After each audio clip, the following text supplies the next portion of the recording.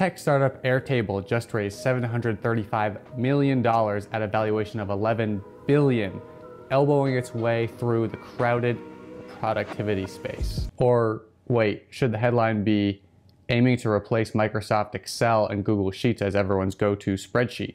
The funny thing is that while Airtable is competitive in both of these different spaces, at its core, it's actually a lot more similar to this group of apps, which you may not have heard of before. Databases are the behind the scenes engine that makes pretty much every app in the world work. Databases are excellent for storing and viewing information, but they've been typically used by software engineers, not just the average person.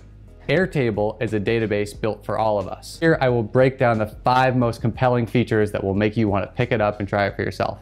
Number one is design. When you open Airtable, you immediately have the sense that someone thought very hard about how to make the app enjoyable to use. Color is an extremely underrated organizational tool, and Airtable understands that. Fields. Airtable has a ton of useful field types, including single select, checkboxes, and attachments. Yes, you can drag and drop an attachment into a cell. Views. The database advantage shines through when you need to view your data in different ways. Views our pre-saved filters on top of your data that allow you to say, group expenses by category in one view and by month in another view. Non-grid views. In the same way that you can create filtered spreadsheet views, you can also create a timeline, a gallery view, or a calendar.